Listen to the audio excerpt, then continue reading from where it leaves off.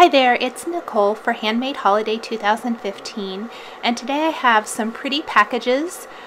This is similar to the series I did last year or the project in the series I did last year with the exception that this is the 2015 version and I'm going to be using some stamps from Kerri Bradford Studio with some die cuts from Kerri Bradford Studio and my color um, scheme is completely different than last year. Last year I did more of an elegant with whites and golds. This year's this year I'm sticking with the more traditional colors of red, white with a little bit of green. And then the tags are all going to be this uh, black with bright white embossing. I am using Kerri's Twinkle and Tagged stamp sets to stamp on these black die cut tags. The tags are also from digital die cut kits from Kerri Bradford Studio. The exact kits are going to be shown across the bottom of the screen here in case you're wondering exactly where I got these particular die cut images. I'm only using two styles here. I'm doing six tags for the six boxes I'm creating instead of doing a bunch of different types of packaging like I did last year, I decided to stick with the box from the Santa's Toy Shop kit. I love it. It's a two-piece box, and I'll show that here in a little bit. Um, it's just a really great, useful type of um, package, I guess I want to say. And it was probably my favorite from last year, so I decided to do a whole bunch of them for this year's.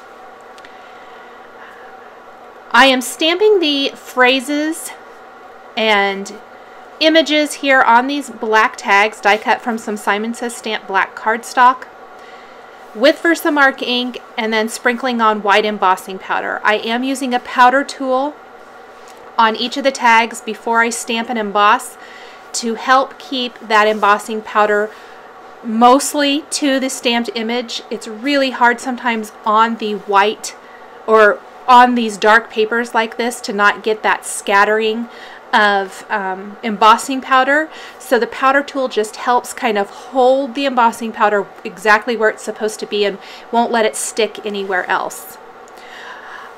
What I did was stamp the front of all six tags. They are all different. You could definitely do them all the same. With a lot of the projects in my Handmade Holiday series, I'm trying to keep the projects to an hour or under. This is one of them that went a little bit over. Um, if you break it down into two kind of uh, sections, it probably would be about two hours total or an hour each.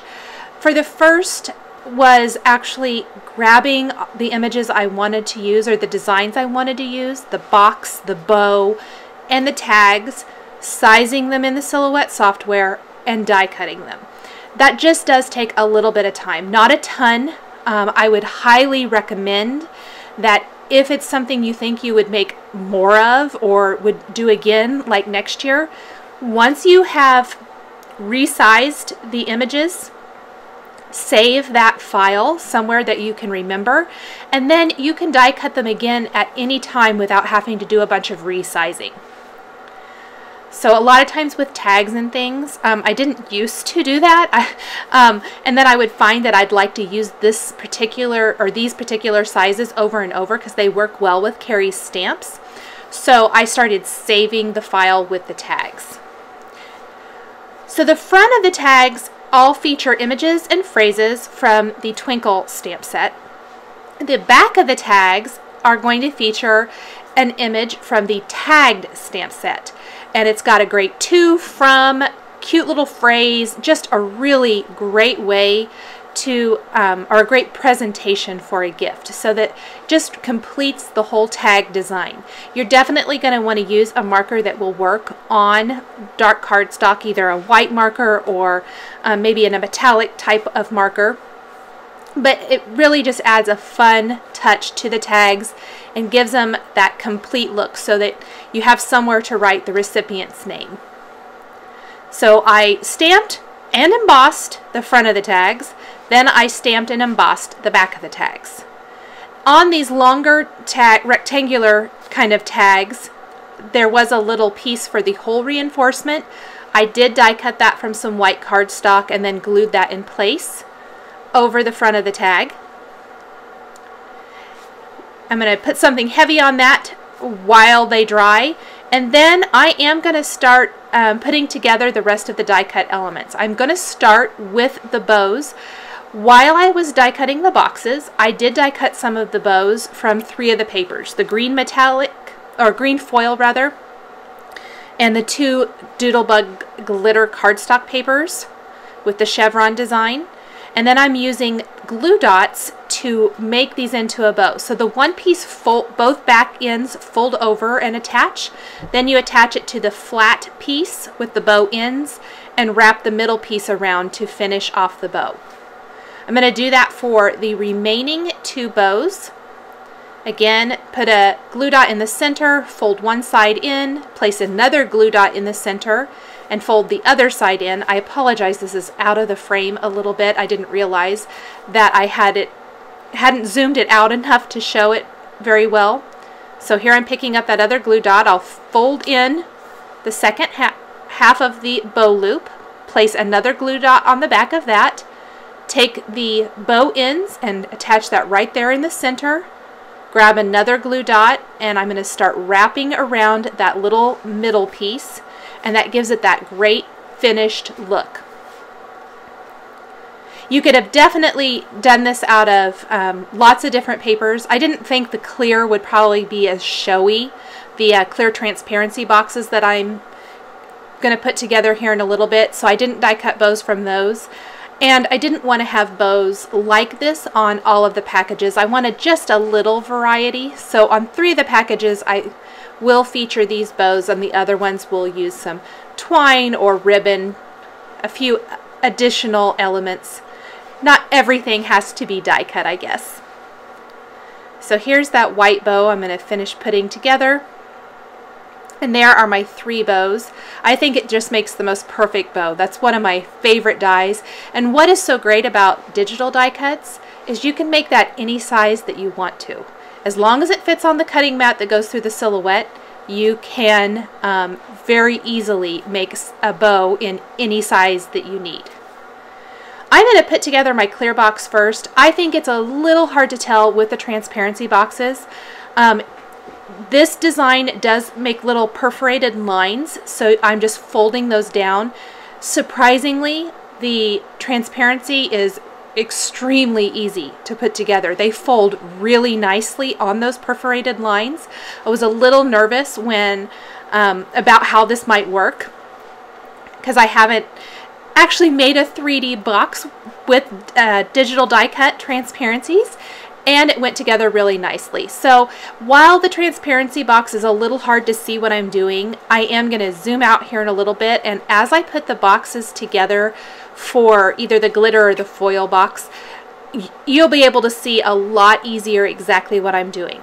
All six boxes are exactly the same size and all six boxes go together exactly the same. With the transparency boxes, I think they would look awesome with really pretty either tissue paper inside or that kind of confetti type of stuff and then you can tuck your gift inside of that. Um, lots of different ways to add a fun touch inside. The great thing about the transparency boxes is that you they are see-through.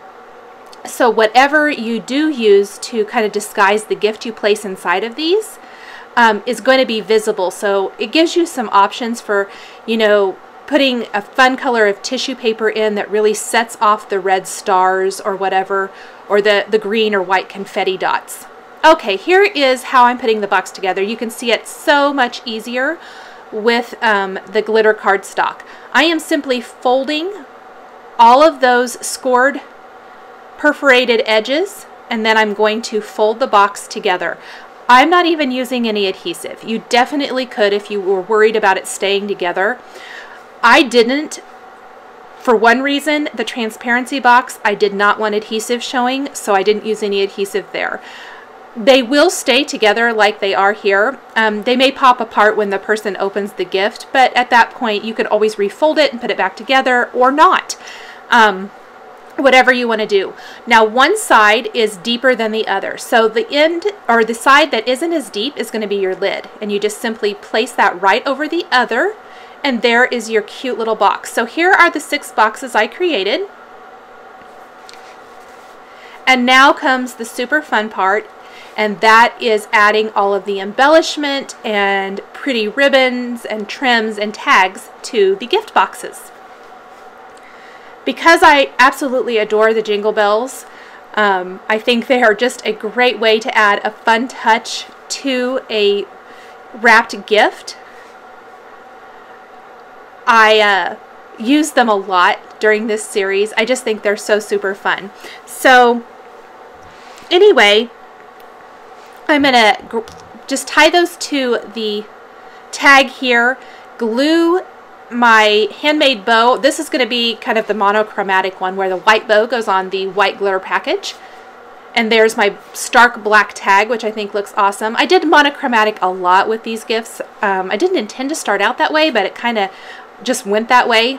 This is some gold, or not gold, green silk ribbon wrapped around the box with a green Bella Boulevard feather, one of the tags, and then I'm just going to clip here with a green um, Doodlebug clothespin clip. I'm going to clip that to the package. I couldn't quite decide exactly how I wanted to do it, so I'm trying some green sparkle twine as well to see if I like that. And then I will clip that to the package. And I think I ended up deciding I didn't like the sparkle twine for this one, so I'm just going to clip the tag to the ribbon and leave it at that. I am going to use some of the red sparkle twine from Lawn Fawn and wrap up my red glitter box. Going to tie that, wrap it into a little bow, and want to make sure I get it so that it's nice and secure, so I'm going to go underneath there before I tie it in the bow. That looks much better. Again, kind of keeping with the theme, I love these feathers from Bella Boulevard as a decorative tool as opposed to maybe a, a bow. Clip another tag to this one and that one's going to be finished as well. For the red star transparency box, I'm going to use a little red sparkle twine with that tag and a red gemstone. Glue the paper bow in place. I'm going to take a little green sparkle twine for the green transparency box and thread through those jingle bells Tie that into a nice bow.